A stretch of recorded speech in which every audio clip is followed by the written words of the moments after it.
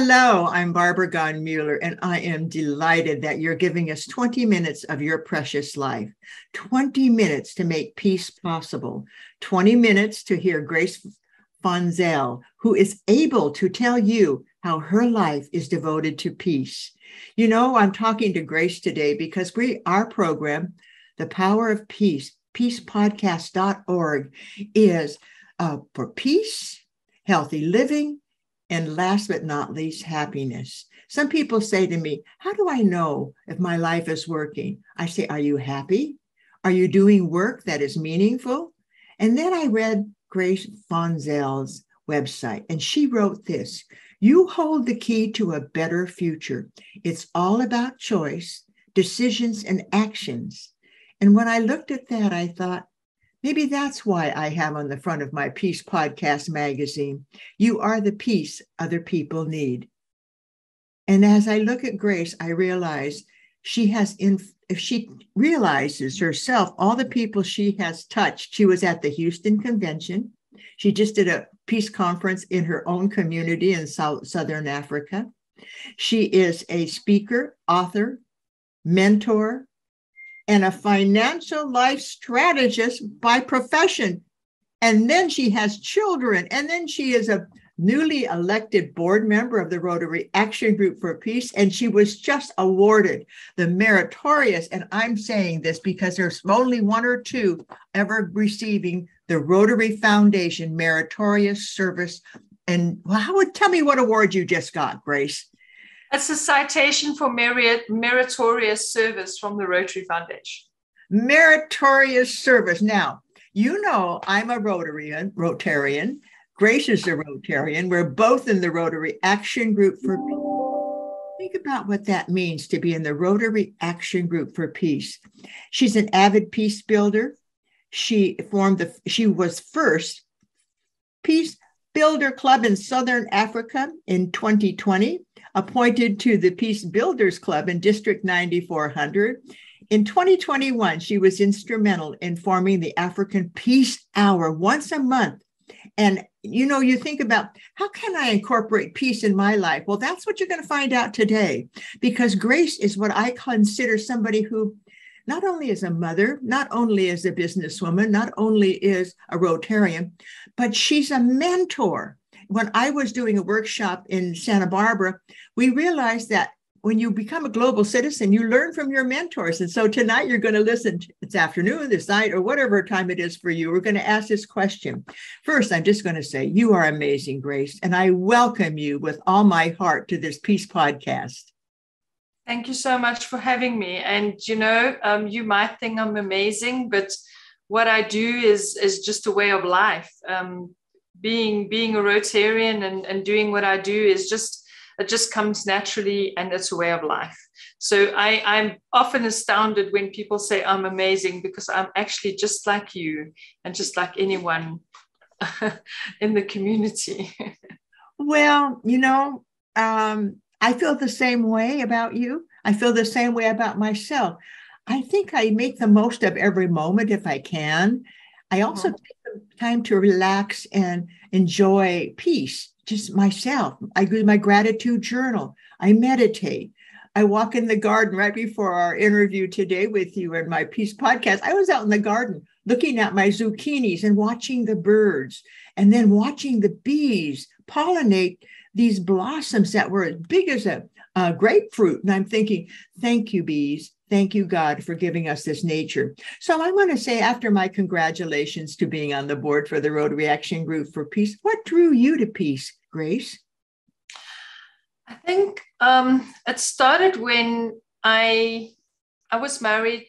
I, I'm, I'm I was widowed at the age of 45, but um, before that, I was married to a man um, for 13 years. And um, for the first year of our life, we had an amazing marriage. And then he got very ill, and I nursed him for 12 years. And eventually, he passed away um, after 13 years.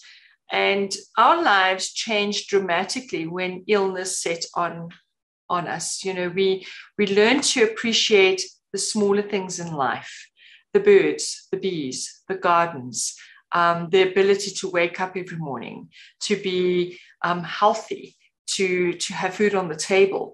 So, all those things that people take for granted became very real in, in those times. And I think that's what made made peace become very part of my life because you, have got to be at peace. You cannot be stressed about where's your next meal coming from. Where's um, you, you start appreciating the small things in life. And I think that's where it all started. I then joined Rotary during that period, and Rotary became very, very much a big part of my life. It was my social life. It was my, it was a way for, it was my coping mechanism. Because instead of focusing on all the challenges in my own life, I was able to focus on challenges of other people's lives. And I think it was just a natural progression that um, we are we have peace in our DNA, whether we like it or not. And when we're exposed to challenges and when we're exposed to the kind of circumstances that I was exposed to, that peace, um, that feeling of peace or that yearning for peace just takes over and you just you go with the flow. And that's exactly what happened to me. So to, to me peace really does start at home because you you do have to be peaceful within your own environment. You have to be accepting accepting of what's going on in your life. And i think that's where it all started for me. You know i totally agree with you. It has to it has to start at home. And during that period when you were nursing your husband i can imagine how important your peace was to him at the same time as you were doing the necessities. We all have necessities. You can't get away from them. But you know your life as i as i look at your website and i look at you and i see a beautiful woman who feels accomplished you know well did this all happen because you had a vision because you had a dream as teilhard de chardin said? We go confidently go confidently in the direction of your dreams. And my husband said First, you dream, see it in your mind, and then it happens. Is that what happened for you? How did you visualize your future, or did it just happen? I think a lot of it just happened, but I think a lot of it was was um, strategic and, and purposeful. So I grew up in poverty, well, not extreme poverty, but um, we we didn't have the best of everything. So came from a very, very um, menial family and had to fight for everything I had, had to work for everything I had. And especially in a, in a country where, and I think it's not just in our country, but many parts of the country where women are undervalued and women don't get the same opportunities as men, you really had to work so much harder. And I think my passion came from where I wanted to ev- to let every person on earth, doesn't matter whether you're female, male, black, white, doesn't matter. I wanted to develop that person to their full potential. And I think that's where my journey on peace became. So my passion is helping people achieve the best person that they can be. Um, and peace Peace is very much part of that. And peace touches on every aspect of your life. So for many people, peace is not tangible. But for me, peace is very tangible because when you are able to pursue the career you want to achieve, um, uh, pursue, regardless of race, regardless of gender, that brings peace. When you um, help somebody elevate themselves out of poverty, that brings peace. So it's my, my, my vision and my mission is to help every single person achieve the best person or the best version of themselves that they can possibly achieve. You know, it sure sounds like you had a. Oh, I'm going to go back so I can see us together.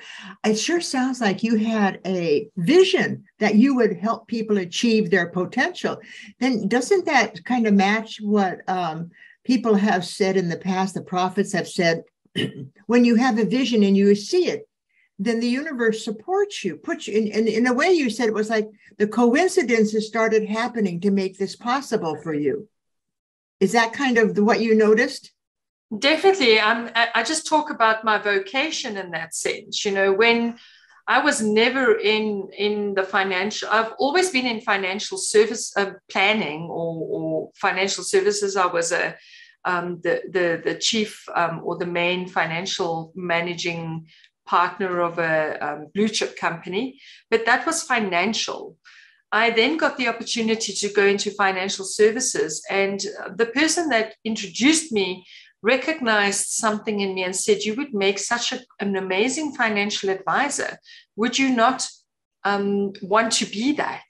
And I said, Well, you know, let's give it a shot. I've got nothing to lose. And that was at the time where my husband had just um, got very ill. I had lost my employment. There was no money coming into the household. Um, so it was really, really dire. And I took the opportunity and I found that it spoke to my passion about helping people become the best versions of themselves. Because I can take somebody where they want to be in life and where they're trying to get to. I develop that plan and I help them achieve that. So my vocation speaks to my passion as well. And that happened by chance, it wasn't by design. I wanted to become a mechanical engineer. There was nothing financial about that. Um, and yet today, I am a financial life strategist and I help people achieve the impossible. And I do that with everything in my Rotary life as well. Isn't that beautiful? It's um, your passion, your vision, they kind of coincide. And all of a sudden, you're on this path of doing the best you can because you're doing what you love. You, as you said, peace is in your DNA. But I also think if we love peace, we don't forget about it. But it sounds like what you did was literally, thank you for doing it. Think of all the people you em- you empowered to be who they could be. Sometimes very humbling, and sometimes you don't give yourself the credit for that. You know, and and one of the things in life is that you need to celebrate your successes, but most philanthropists don't do that.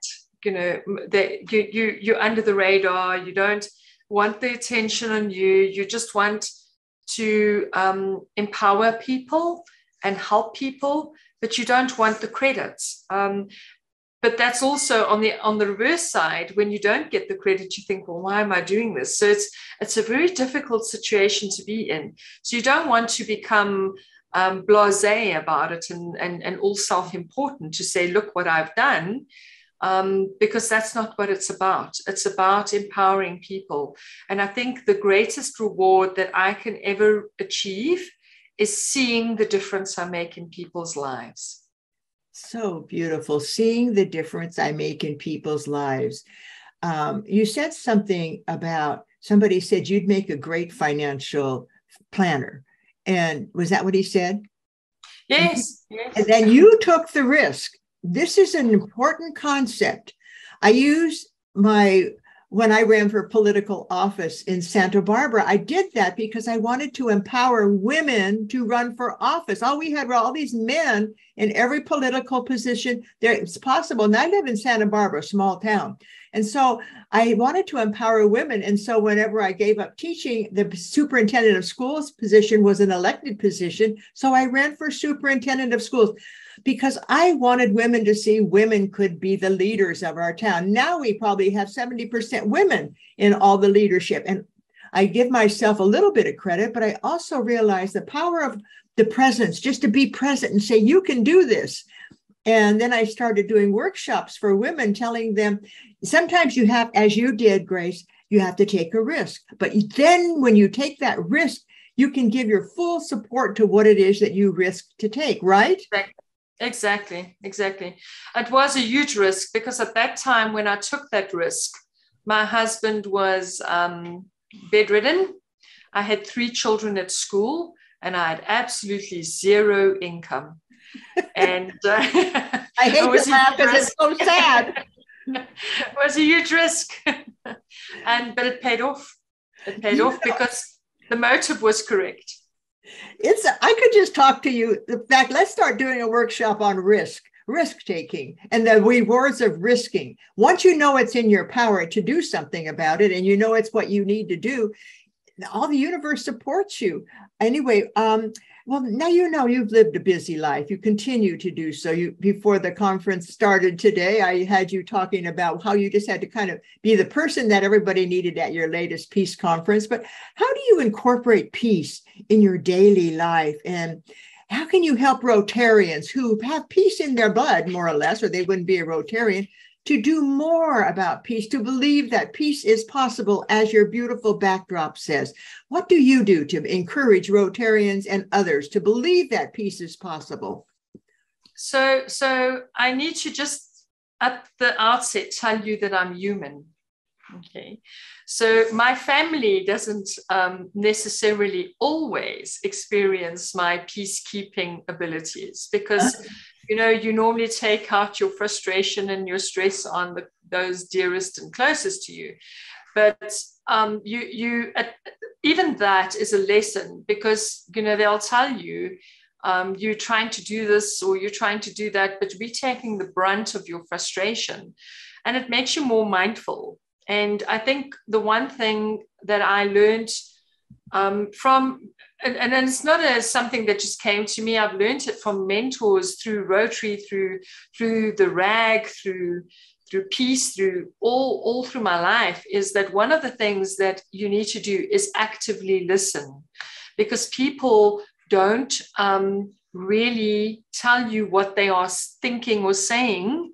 They are that saying, read between the lines, is so powerful and it is so real. So when you hear somebody say something, don't respond immediately.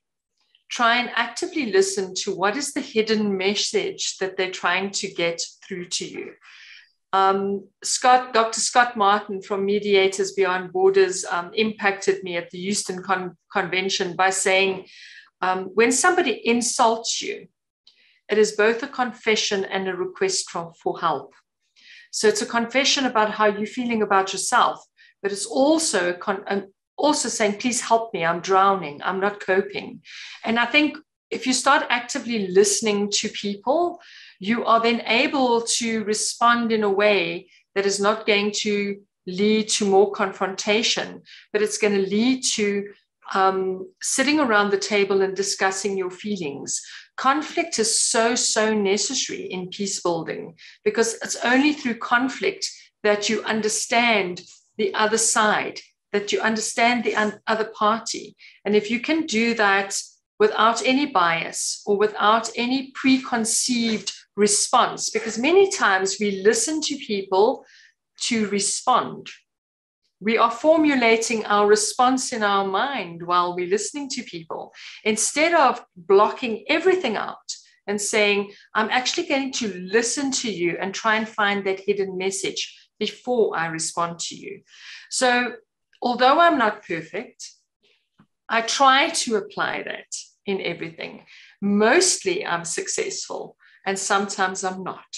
But it is a journey, it's a learning experience you cannot ever be 100% peaceful because we are human. I love what you said. And I interviewed over 300 peacemakers, and every one of them said, Peace is a journey, not a destination. Huh. And you just told us that peace is listening, peace is trying to understand, peace is that journey. And don't you learn so much more when you listen rather than respond? Exactly. Exactly. We're dealing with some conflicts in our club at the moment, and we've got two sides of, of the coin. You know, one that is like saying you are totally disrespectful to Rotary and whatever, and the other one saying you don't understand my culture. Um, and both of them have validity. And trying to get them to sit around a table to actually discuss this as adults um, without emotion is is I think is the probably the biggest challenge and because you're dealing with egos. Just think about what you're going to bring to the world once you do this. This is every I always say in every problem there is a solution and something that we can share after. Exactly. Um, exactly. I, I, I, have to tell you, I was just reading my own book. I wrote this book called Revolutionary Conversations The Tools You Need for the Success You Want. Actually, it's the tools you need to bring peace to a conversation. And what do you think the first step is in our five step process? Just what you're talking about. Stop. Don't think about what you're going to say. Stop the conversation for clarity And then H, it's share, it's a share model. And the H is to help. Help me understand what you're saying. Instead of planning that response, help me understand what you're saying. And then ask a question, risk, and explore. But you ha- you can't go forward if everybody's on the different sides. You might as well forget it. You might as well just sit and hold your hands, hold your hands, and listen. Exactly. And I think it's about being curious. Um, you know, if somebody says something to you, let your curiosity take control. Ask why. Why do you feel that way? Why, why do you respond that way? Why do you think this happened? Those questions are very, very important in peace building because it helps not making you form assumptions. So if you approach a conversation with a curious mind, and an open mind not with preconceived ideas. And i think that's the biggest challenge is many of us come into a situation and we have formulated our own ideas um, and solutions already to the problems before we've even heard anybody speak. So it's it's having that curious mind and asking those questions because it's only by doing that that you can actually get to the bottom of what the real problems are. And and that's not an easy job it's it's not easy. And it's not easy trying to convert an a-type personality to actually do that kind of thing you know? So it's it's it's it's it's, it's huge. There's an advantage um, to not speaking the same language um, too also in listening. In the united nations i've had many opportunities to sit in the general assembly. And because the translation is after the speaker speaks it allows some time. It allows a pause. And that pause allows people to think well what does that say to me? What is that speaker saying that i need to know? And so that's why i wrote this prop revolutionary revolutionary because i said if you do these five steps these simple five steps you can have a conversation that you can both be happy about and you can maybe even have some peace after. Maybe you can understand each other so, Grace, your wisdom is profound. It's exactly what we need right now. We need to understand that peace is possible, and it begins with me. And so, I wanted to ask you one last question, and that is what do you want the world to know right now? If you were to say, I'm Grace and I want the world to know, what would you like them to know? The world, our peaceful, our nature, etc. I think I think it's it's a very difficult question to answer that, and it's a very good question. And yes, peace is possible, but I think every country and every continent has its own challenges. And if I have to just apply the Maslow hierarchy of needs to this concept, it doesn't help you try and go in the top of this the, of that pyramid. So, for example, I'm in Africa Africa has got a very big reputation for corruption. So for me to try and solve um, governmental issues at the higher level would be a total waste of time. I need to go in and solve the corruption issues. And what I want to do in Africa is to put the rotary four way test in the face of every government official. I want it on posters, I want it on rulers, I want it as screensavers, mouse pads, whatever you want, because the more they see that four way test, it becomes their moral compass. Once we've rooted out corruption, we can then move to the next level. But until we have fulfilled the bottom of the hierarchy of needs, we are not going to be successful if we're trying to go in at the top. And I think that's why we're not successful with peace, because we're trying to use a blanket approach to the world. And every part of the world has got different challenges. And we need to root out or address the challenges in that particular country or that particular continent in order of the hierarchy of needs of human nature. I mean, you, you first solve the basic needs then you move on to the next ones. We need to solve the basic needs in Africa. And that's that's the, the message I would like to get across. I totally agree with you. And for those of you who are not Rotarians, I want to read to you the four way test. Is it the truth? Is it fair to all concerned? Will it build goodwill and better friendships? And will it be beneficial to all? And that's the four way test that we use in our Rotary clubs. And it's allowing us to stop, as Grace talked about. It allows us to whatever we think, say, or do, asking ourselves, is this the benefit that I want to achieve?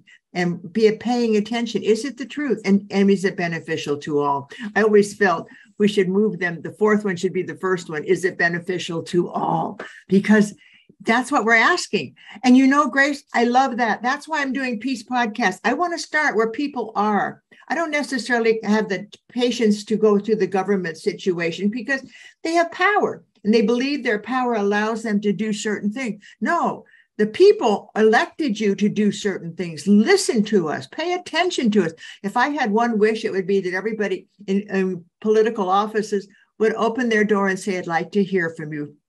Pay attention. Grace, you are a joy to talk to. You are an accomplished woman.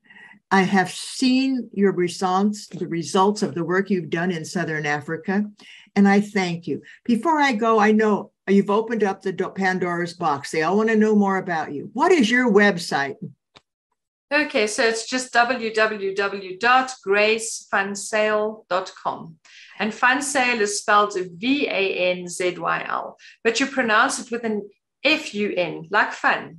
Like, I, I, don't know if I'm much fun, but. Grace Van Zyl, such a beautiful podcast. Now, you see why peace is possible because of the Grace Van Zyl in Southern Africa and all of you who are watching us today. It's up to you to bring the peace that our world needs. You are the peace other people need. And if you listen carefully to Grace today, you heard peace begins with me. And if I'm at peace, I can listen and I can pay attention and I can bring the peace that this world needs. And so, with that, I thank you, Grace, again. Thank you. And I thank you for having me. What an honor. And I thank you for watching today. Peace is possible. And you learn from each of these podcasts. As you know, our Peace Community Magazine is about to come again. And all you have to do is go to peacepodcast.org and you will be able to see the latest issue. With that, I say thank you. Thank you for giving us this 20 minutes of your precious life, and may peace prevail on earth. I'm Barbara Gaughen-Muller saying thank you.